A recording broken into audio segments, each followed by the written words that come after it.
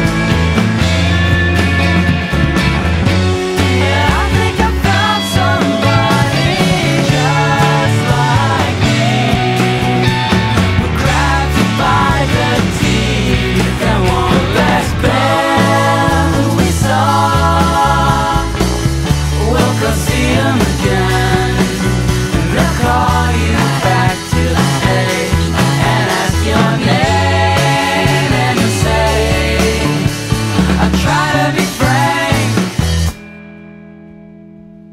but my name is Dan.